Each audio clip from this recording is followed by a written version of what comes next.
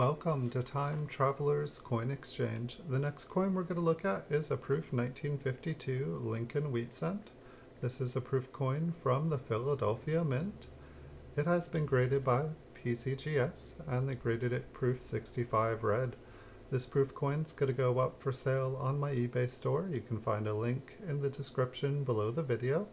It'll take you to this exact coin on eBay. Once there, you can also find over 5,000 PCGS graded coins for sale on my eBay store.